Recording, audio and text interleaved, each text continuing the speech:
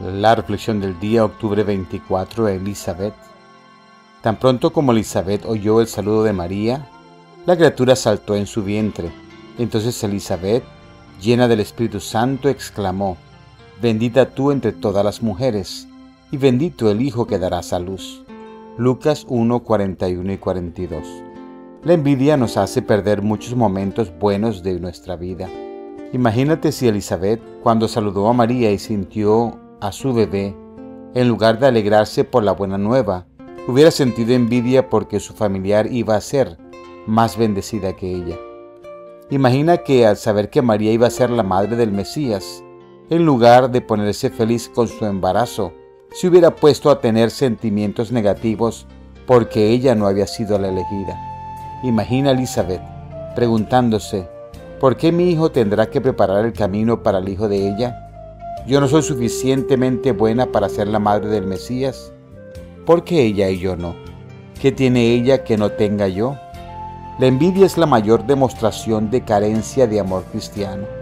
Además, es una prueba contundente de falta de agradecimiento, ya que el envidioso no consigue ver las bendiciones que recibe, puesto que está obsesionado con las que recibe el otro. Este pecado corroe más al envidioso que al envidiado quien a veces ni siquiera sabe de los sentimientos negativos del otro. Este espíritu fue el que dominó a Lucifer en el cielo. ¿Necesitas que sigamos profundizando estas ideas? El mundo está como está hoy porque un ser creado sintió envidia de su creador. Por ser como un veneno, su trabajo puede ser silencioso, pero carcome el espíritu de las personas y destruye relaciones.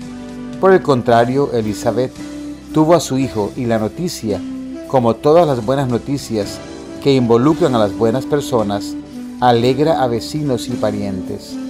¿Ya notaste cómo las noticias son buenas o malas dependiendo de quién sea el sujeto de la noticia? Una mujer como Elizabeth, que recibe una bendición tan grande como un hijo, es motivo de alegría.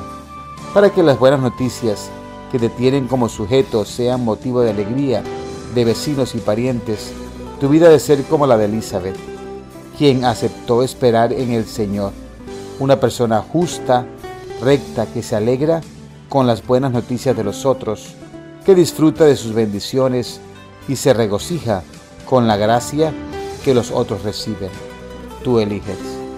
Que Dios te bendiga.